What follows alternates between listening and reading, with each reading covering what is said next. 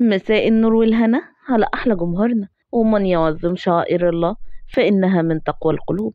واستبشروا استبشروا فيه بالخيرات فهو فتحة كل خير. وفيه تنزل الرحمات وتفيض النفحات وتهطل البركات. شدوا العزائم وأيقظوا الهمم وأقبلوا على العمل. افرحوا برمضان وهنئوا بعض واصنعوا البهجة. اللهم هيئ قلوبنا لرمضان حبا للعبادة وفرحا بقدومه وتقديرا لفضله. اللهم اجعلنا ممن يصوم ويقوم إيمانا واحتسابا. كل عام وأنتم بخير. رمضان كريم وكل سنة وأنتم طيبين. يا حبايب قلبي وعايزة أقول لكم إنكم وحشتوني جدا جدا جدا من قصتنا اللي فاتت. وجاية لكم النهاردة بقصة جامدة جدا. تعالوا بينا ناخد عشر حسنات ونصلي على سيدنا محمد عليه أفضل الصلاة والسلام. وما تنسوش تدعمونا بال like وال comment الحلو. ويلا بسرعة بسرعة ندخل ونشوف أحدث قصتنا. بتتكلم عن إيه؟ انت مدلع ابنك قوي يا حاج محمود مش كل اللي يطلبه تجيبهوله وفيها إيه يعني؟ لما دلعه ده الواد الحيلة على البنتين واللي شايل اسمي. ما بناتك هما كمان شايلين اسمك. لا ولادك شايلين أسامي أجوازهم لكن ابني وولاده شايلين اسمي. طيب براحتك. أما قوم أجهز الغدا علشان كلهم معزومين عندنا النهارده. ووقت الغدا منى قالت الاكل حلو قوي يا ماما. تسلم إيدك تسلم إيدك يا حماتي. تعيشي وتعمل لنا الأكل الحلو كله يا ماما. ربنا يخليك لنا يا حاجة كريمة. الأكل ناقصه حاجة مش عارف إيه هي. أنت كده على طول يا عمر. ما ينفعش تقول كلمة حلوة أبدا. عمر يقول اللي هو عايزه يا حاجة. على فكرة يا بابا ما حدش غيرك مبوظ عمر.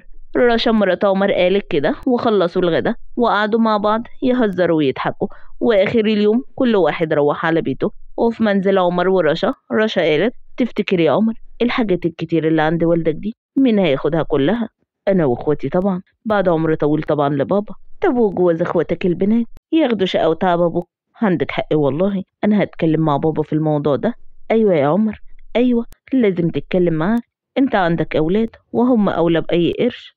هم ايسل واسر فين؟ وحشوني. نايمين. دخل أوضتهم بسهم وحضنهم وقفل النور ودخل أوضته نام. وتاني يوم عمر نزل راح لوالده وقال له يا حاج انت لازم تعمل وصية إن اخوات البنات ما يورثوش. ليه كده يا عمر يا ابني. يعني يا بابا بعد عمر طويل ليك يا بابا. يجي اجوازهم ويحط إيدهم على أملاكنا وشقانا وتعبك يروح لحد غريب. يا ابني ده شرع ربنا. انت عايزنا نتحشر في جهنم وإخواتك البنات غلابة وأجوازهم على قد حالهم. وهي حاجة تبقى تفرج عليهم. يا بابا يا بابا دول متجوزين إخواتي علشان طمعانين فيك. بص يا عمر يا ابني انت عارف معزتك عندي إزاي؟ وانت ابني الوحيد. ما تزعلش مني يا عمر. أبوك لا يمكن يعمل حاجة حرام. وفي بيت منى ومحمد أخت عمر منى قالت لقيت حد تستلف منه يا محمد.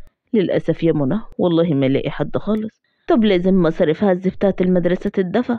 أنا بدور على شغل إضافي بعد الظهر. طيب أنا هروح أستلف من بابا. اوعى تعملي كده. أنا مش عايز والدك يفكر إني باصص لحاجة عنده. إن شاء الله بكرة تتعدل يا حبيبتي. طب أستلف من عبير أختي. خلص بقى أنا هتصرف. ما تحرجناش مع حد. وتاني يوم منى قالت اتصرفت يا محمد للأسف مش عارف خالص. خلاص ما تشيلش هم إن شاء الله هتفرج أنا داخل أنام يا منى. دخل نام وهي اتصلت على أختها عبير تطلب منها فلوس سلف. عبير قالت لها من عينيا الاتنين يا حبيبتي ما تقلقيش يا عبير إن شاء الله هرجعهم لك آخر الشهر. بس يا عبيطة هو إحنا في بينا الكلام ده إحنا إخوات يا هبلة. شكرتها وقفلت معها وقالت الحمد لله اتحلت من عندك يا رب. وعند رشا وعمر في البيت. رشا قالت اتكلمت مع والدك. في اللي كنت قلت لك عليه. آه. وقال لي أنا مش هظلم إخواتك. وده حقهم. أبوك ده غريب قوي. ده أنت ابنه الوحيد والأولى بكل حاجته. خلاص بقى يا رشا اقفل على الموضوع ده. وفي البيت عند كريمة ومحمود. محمود قال العيال وحشوني قوي يا كريمة.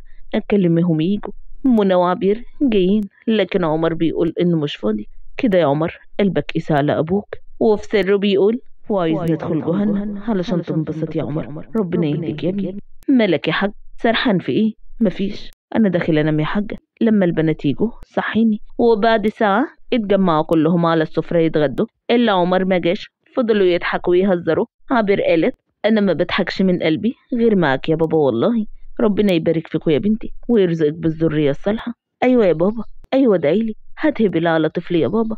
كل شيء بأوانه يا بنتي. بكرة تخلفي يا عبير لما تزهقي. أهو أنت شايفة عايزة اعمل فيا إيه؟ أنا عملت إيه يا ماما؟ ده أنا كميل. الحاج محمود؟ ضحك وقال أنت أجمل عز في الدنيا يا حبيبي. هات لي جد حضن كبير. هو إحنا هنفضل مقضيينها كلام؟ يلا يا أولاد كله مد إيدكم. أنا داخل أريح شوية يا بنات. عملتي إيه يا منى؟ دفعتي مصاريف المدرسة بتاعت عز. آه يا حبيبتي ربنا يخليكوا ليا. عز ده كأنه ابني بالظبط يا منى. عز حبيب خالته هاتلي حضن كبير لخالته حضنته وقالت ربي لا تزرني فردا وأنت خير الوارثين. يا رب اللهم آمين يا حبيبتي يلا يا بنات يلا دوقوا الحلو اللي أنا عاملاه عاملاه علشان عزه وبس شكرا يا تيتا. وأنا بحبك قوي يا عماس. أكني معك بقى عندك طبقك أهو كل منه. كده يا عز ماشي. وعند رشا وعمر. رشا قالت أنا نازلة خارجة مع أصحابي يا عمر حاولي تمسكي إيدك شوية. خروجاتك معهم دي. بتقف عليا بخسارة. مش كده يعني؟ انت مش عايزني انبسط. انت مش عايزني. انزل واخرج وانبسط مع اصحابي. ما تقوليش كده. بس بالعقل شوية. قامت لبست ولادهم أخدت ولادها ونزلت ركبت عربيتها وراحت لصاحبتها وعند عبير وأحمد. أحمد قال زعلانة ليه يا حبيبتي؟ نفسي أخلف لك هايل يشيل اسمك. أنا أهم حاجة عندي انتي مش عايزة أشوفك زعلانة؟ احتياجي للأمومة بيزيد قوي يا أحمد. إحنا عملنا كل اللي علينا والباقي كله على ربنا ونعم بالله. عدت الأيام والأسابيع والشهور والحاج محمود بيزيد تعب وطلب من كريمة إنها تكلم ابن عمر علشان يجي يشوفه. كريمة قالت أيوة يا عمر والدك تعبان وعايز يشوفك. مش فاضي دلوقتي يا ماما عندي شغل. والدك تعبان وعايزك في حاجة مهمة تعال له بسرعة. ماشي يا ماما. مسافة السكة وجاي. وبعد ربع ساعة عمر مع أبوه في الأوضة. الحاج محمود قال اقفل الباب وتعالى. عايزك في كلام مهم. خير يا بابا. افتح الدولاب ده وافتح الخزنة. رقمها 24 58 وهات الأوراق اللي فيها. عمر بلهفة وفرحة وهو بيفتحها وبيقول لنفسه بابا شكله يعمل لي اللي أنا عايزه. فتحها وجاب الأوراق اللي والده طلبها منه. الحاج محمود قال تعال. آه جنبي يا عمر. العقود دي كلها فيها حاجتي. وأملاكي كلها. أنا حاسس يا ابني إن عمري خلاص قرب ينتهي. بعد الشر عنك يا بابا. اسمعني بس يا عمر. لما أخلص كلامي العقود يا ابني تخليها معاك وتقسم كل حاجة بينك وبين إخواتك. بما يرضي الله يا ابني أنا أمنتك أمانة وهتسأل عليها يوم الدين. طبعا يا بابا من غير ما تأمني. دول إخواتي البنات اطمن عليهم يا بابا. أنا عارف يا ابني عارف إنك قدها وقدود خلي بالك من أمك وأخواتك. ما تقولش كده يا بابا. إن شاء الله يوم وهترجع أحسن من الأول. يا حاج محمود. ونجوزك. وتسيبك من كريمة بقى اللي راحت عليها. الله يحفظك يا ابني. أمك كريمة دي ست الكل. تخلي بالك منها. ماشي يا حاج محمود. أنا هقوم أمشي بقى يا حاج. وهاجي لك تاني. خد العقود ونزل. عمر اتصل على مراته وحكى لها كل اللي حصل. وقال لها أنا عملت حاجة كمان من غير ما بابا ياخد باله. أنا سرقت الختم بتاعه. برافو عليك يا عمر. انت بقى تنقل كل حاجة باسمك وأنا هكلم على اخويا.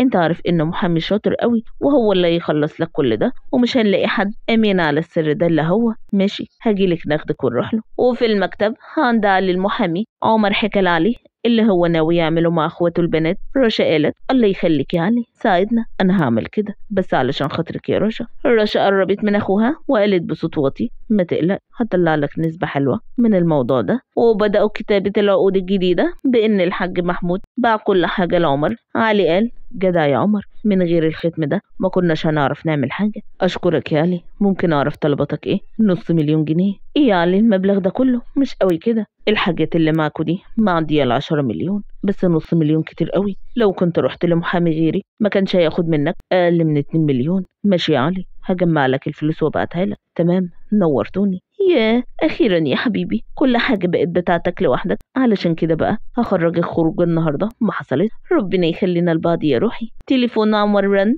الحق. أبوك مات. بتقولي إيه يا عبير؟ أبوك مات يا عمر. حالتهم كلهم كانت صعبة. إلا عمر ومراته رشا عاديين جدا. وبعد شهر كريمة جمعتهم كلهم وقالت لهم أنا جبتكم أنتوا التلاتة النهاردة علشان أفتح الخزنة بتاعت أبوكم واللي فيها يتقسم عليكم بشرع الله. قامت جابت الخزنة وفتحتها. الحاج محمود كان معرفها الرقم السري بتاعتها. أول ما فتحتها لقتها فاضية. صرخت وقالت فين الحاجة اللي كانت هنا؟ اهدي بس يا ماما أنا هفهمك على كل حاجة. في إيه يا عمر؟ قول. بصي يا ماما بابا خدني عنده الأوضة قبل ما يموت الله يرحمه ولقيته كاتب كل حاجة باسمي باسمي أنا لوحدي وقال لي إن ما عنديش بنات تورث. لا لا لا يمكن أبوك يعمل كده يا عمر. أبوك عمره ما يعمل حاجة حرام وبيخاف شرع ربنا. أبدا مش ممكن يعمل كده. معقول معقول بابا يعمل فينا كده؟ أنا وعبير يعني أنا مثلا حرامي وهسرقكم. أنا قلت لكم على الحقيقة كلها. أنا عارفة بابا كويس قوي عمره ما يعمل كده. أنا هجيب لكم صور العقود تقدروا تاخدوها وتروحوا بيها لأي محامي وأنتوا تتأكدوا من كلامي. حتى لو أبوك عامل كده أنت المفروض تصلح الغلطة دي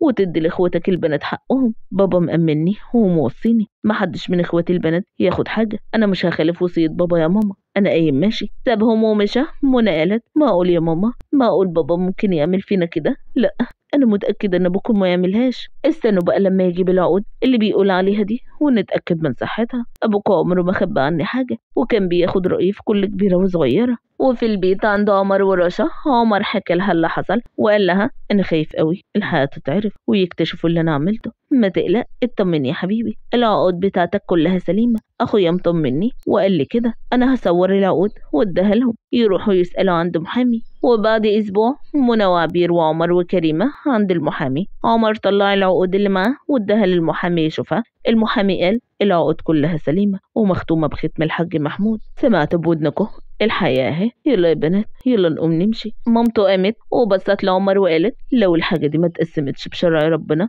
بينك وبين إخواتك لا أنت ابني ولا أعرفك ولا عايزة أعرفك تاني. دي وصية بابا يا ماما وأنا وعدته هنفذها. وفي البيت عندي كريمة منى قالت ليه كده يا بابا ليه كده تظلمني. وانت عارف ظروفي عاملة إزاي؟ اوعى تغلطي في ابوكي. ابوكي ما يعملش كده ابدا. إزاي يعني يا ماما؟ عمر مع العقود كلها سليمة ومختومة. ربنا يسامحك يا عمر يا ابني. ويهديك. وعند عمر ورشا رشا قالت الحمد لله يا حبيبي. كل حاجة بقت بتاعتنا رسمي. نتصرف بيها براحتنا بقى. أنا فعلا ظلمت اخواتي يا رشا. ظلمتهم في إيه؟ أنت عايز تعبك وشقاك أنت ووالدك. يروح لحد غريب وياخده؟ عندك حق فعلا. وعند منى حكت لمحمد اللي حصل. والدك حر في ماله. إزاي يعني حر؟ أنت بتقول إيه؟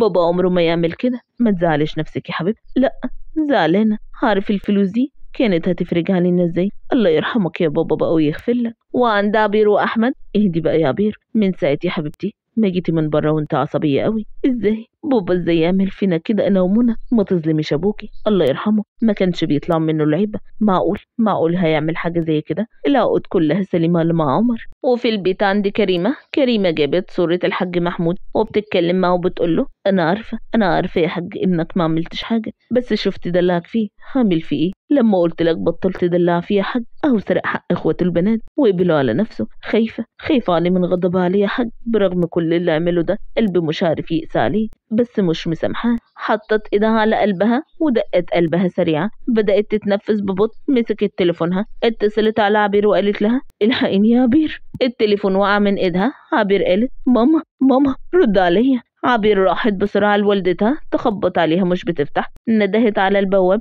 طلع كسر الباب دخلت لقت أمها واقعة على الأرض وجنبها صورة جوزها الحاج محمود. عبير قالت ماما لا يا ماما قومي وماتت الحاجة كريمة وبعد شهر منى قالت البيت وحش قوي يا عبير وحش قوي من غير بابا وماما. صدقي ما شفتش عمر أخوكي. من يوم ما ماتت ماما الله يرحمها ربنا يسامحه ويهديه. وعدت الأيام والشهور والسنين وبعد عشر سنين في الجامعة عايزة ازيك يا بنت خالي الحمد لله يا عز مبروك على العربية الجديدة. وعز ألف سر كل شهر بتغيري عربيتك بفلوسنا يا بنت الله الله يبارك فيك. عقبال ما تجيب أحسن منها. شكرا. إزاي يعني؟ وإحنا بنكمل يومنا عشاء العفو.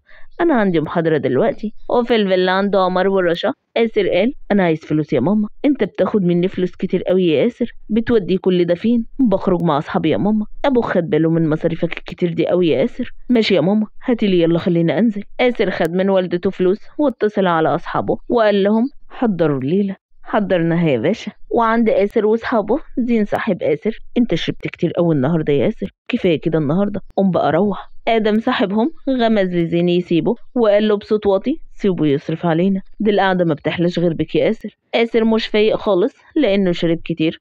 أنا هقوم أمشي بقى. هتعرف تسوق يا آسر؟ وأنت كده؟ آه يا ابني هو أنا مالي يعني؟ آسر وصل البيت لقى أبوه قاعد مستنيه. عمر قال أهلا يا أستاذ آسر. بابا؟ آه بابا كنت فين لحد دلوقتي؟ كنت مع أصحابي بنذاكر يا بابا. أنت مسطول يا آسر. عمر خد آسر وراح على الحمام غسل له وشه عشان يفوقه وقال له قوم يا بني آدم قوم. خلاص بقى يا بابا. أنت بتعمل في نفسك كده ليه؟ أنت عايز تضيع نفسك وما عدتش تيجي الشركة لنا تاني. أنا عملت كل ده وكبرته وتعبت فيه علشانك أنت. وفي الآخر تطلع بالشكل ده. ده أنت عيل مستهتر وصايع. أنا عايزه اطلع انام يا بابا غور من وشي. آسر سابه وطلع أوضته. عمر قاعد مع نفسه زعلان على ابنه واللي وصل له. قطع تفكيره رشا ما دخلت وقالت أنت قاعد هنا ليه كده؟ إيه اللي مصحيك لحد دلوقتي؟ ابنك يا هانم ابنك اللي كل يوم يرجع لآخر الليل مسطول. والله يا عمر أنا تعبت معاه قوي. أنا قلقانه عليه قوي. ربنا يهديه. ابنك لازم يروح مصحة يتعالج إنت عايز تفضحنا في العيلة؟ فضحت إيه وبتاع إيه أنا أهم حاجة عندي مصلحة ابني. أنا ابني بيضيع مني يا ست هانم. والسبب انتي وإيه مالك فيه؟ برضه أنا يا عمر أي حاجة وحشة في البيت يبقى أنا السبب فيها. أنا بسمع إن عز ابن أختي بيطلع من الأوائل. ايسل بتقول لي؟ إن عز بيطلع من الأوائل. أنا عايز أعرف ليه ابني ما طلعش زيه؟ أنا ما قصرتش معاه في أي حاجة وأنا ذنبي إيه يعني؟ أنت برضو اللي دلعته زيادة عن اللزوم وكل طلباته مجابه أنا أنا داخل أنام. عندي حاجات كتير قوي في الشركة لازم تتعمل. ما أنا شايل كل حاجة لوحدي. ماشي براحتك تصبح على خير. وفي البيت عنده منى ومحمد منى قالت أحضر لك الغدا يا قلبي. أه يا ماما أنا جعان قوي منى عملت لي عز الغدا وعز قال هو كل يوم أكل من ده يا ماما. ليه عز بتقول كده؟ دي نعمة ربنا يا ابني. أنت عارف ظروف أبوه على قد حاله وبيعمل اللي بيقدر عليه. عز قام بس راس والدته وقال لها أنا آسف يا ماما. هو أنت ليه يا ماما؟ سبت حقك لخال عمر. أنا ما سبتش حاجة يا ابني. خالك هو اللي سرقني أنا وأختي. عمري في حياتي يا عز ما هسامحه. لو كنت خدت حقي منه. كان زمان حياتي اتغيرت كتير لكن هو طماع خد كل حاجة لوحده. عارفة يا ماما؟ عارفة أرسل بنته كل شهر بتغير عربيتها. والله يا ابني ربك هو اللي عليه خلص الحق. ونعم بالله يا أمي. وعند عبير وأحمد عبير قالت أنا هروح النهاردة يا أحمد أقعد شوية مع أختي منى وأخد لها معايا حاجات وأنا رايحة. أنت عارف ظروفها عاملة إزاي. والواد عز كمان هو حشني قوي ماشي يا حبيبتي خلي بالك من نفسك. نزلت راحت لأختها وقعدت تهزر هي وعز. وعز حكى لها عن أيسل وقالت له فلوسي أنا وأمك منه لله خلق عمر ده. والتاني يوم في الجامعة عز قال لنفسه أنا لازم أرجع حق أمي وخالتي. راح يتكلم مع أيسل وقرر إنه هيمثل عليها إنه بيحبها لحد ما تحبه وتتعلق بيه. عز قال إزيك يا أيسل؟ الحمد لله مش محتاجة أي حاجة أشرحها لك. شكرا جدا يا عز. فضل يبص في عينيها وهي خدت بالها بتحاول تتجاهله وهو مصمم يبين لها نظراته. أه ممكن أسألك سؤال. اتفضل. هو أنت في حد في حياتك ليه بتسأل؟ ممكن تجاوبيني؟ لا مفيش امم مالك يا عز؟ أصل عينيكي حلوة قوي شكرا. مش عارف ليه باباكي بعد عننا ومقطعنا كنت سألت بابا هو ما ردش عليا. أنا عايزة أروح أشوف خاله. وحشني من زمان قوي ما شفتوش. ماشي. تعالى نروح للشركة. خدته وركبت عربيتها وراحوا الشركة لعمر. ايسل قالت تعرف مين ده يا بابا؟ طبعا. عايز ابن أختي منى. افتكرتك مش هتعرفني. لأنك ما شفتنيش من زمان قوي كنت لمحتك كده كم مرة مع أمك أعمل إيه بقى في أمك وخالتك؟ هما اللي عايزين يقطعوني طول عمرهم بيغيروا مني وبيحقدوا عليا علشان ناجح وبنيت نفسي بنفسي نفسك بنفسك. دول بفلوسهم وحقهم اللي انت سرقته. بتفكر في إيه يا عز؟ ابدا يا خالو مبسوط اني شفتك. أنا همشي بقى. استنى تشرب حاجة. لا شكرا. مرة تانية بقى. ماشي يا بابا. أنا كمان همشي. مش محتاجة حاجة يا أيسل. شكرا يا بابا. وتعدي الأيام. وعز بيمثل على أيسل الحب. وهي حبته جدا. وتعلقت بيه كل يوم. خروجات وفسح مع بعض. وطول الليل مكالمات في التليفون. عايز قال أنا عايزه أجي أخطبك ونتجوز. أحلى خبر سمعته في حياتي. بس أبوك هيوافق بيا وهيرفضك ليه؟ انت شايفه إحنا فين وانتوا فين. تعال انت بس وتقدم وهات والدتك. وعلى فكرة بابا طيب جدا. ماشي فتحي في الموضوع وأنا كمان هفتح أمي. وعز في البيت. عايزة أقول لك حاجة مهمة قوي يا ماما. اتفضلي يا حبيبي. أنا عايزة أخطب. بجد؟ مين دي؟ ايسل بنت خالي. نعم. بتقول إيه يا عز أنت عايزني أروح أحط إيدي في إيد خالك؟ وهو أصلا هيرضى بنسبنا يا عز آه يا ماما هيرضى. ما تعملش في أمك كده يا عز أنا مش عايزة أشوف خالك ده تاني. أنا خلاص اعتبرت إنه مات علشان خاطري يا ماما. أنا وايسل بنحب بعض. يا ابني يا ابني فكر تاني ده آخر كلام عندي يا ماما. لو ما جتش معايا أنت وبابا